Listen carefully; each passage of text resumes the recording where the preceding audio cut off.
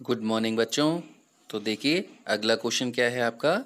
अगला क्वेश्चन है कि multiple choice question what is the smallest whole number तो आप जानते हैं स्मॉलेस्ट होल नंबर कौन सा होता है?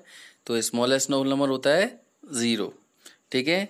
चेक करते हैं आंसर राइट है क्या right okay it is our right answer अगला क्वेश्चन देखते हैं।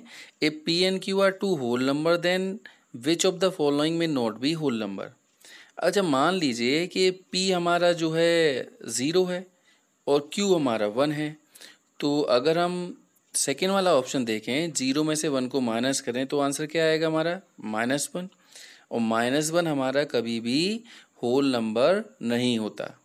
तो बाकी सब नंबर तो पॉसिबल हो सकते हैं, लेकिन ये जो सेकेंड ऑप्शन है, वो कुछ कंडीशन के लिए अप्रूव नहीं हो सकता। ठीक है? तो ये सेकेंड चैप्टर जो है मोस्ट इम्पोर्टेंट है। तो इसको ढंग से करना है आपको। तो कौन सा option second option yes it is our right answer अगला क्वेश्चन है the predecessor of the predecessor of this number अब दो बार प्रेडिकेचर आया ना मैं दो बार माइनस वन करना है। तो लास्ट डिजिट सिक्स है। सिक्स में से दो माइनस हो जाएँगे तो फोर होगा। फोर किसमें आ रहा है? थर्ड वाले ऑप्शन में आ रहा है। तो आप सिंपल समझ सकते हैं third option is right next question the multiplicative identity of whole number multiplicative identity में कभी भी याद रख लीजिए आंसर वन आता है। क्योंकि वन को मल्टीप्लाई करने पर वो नंबर कभी भी चेंज नहीं होता।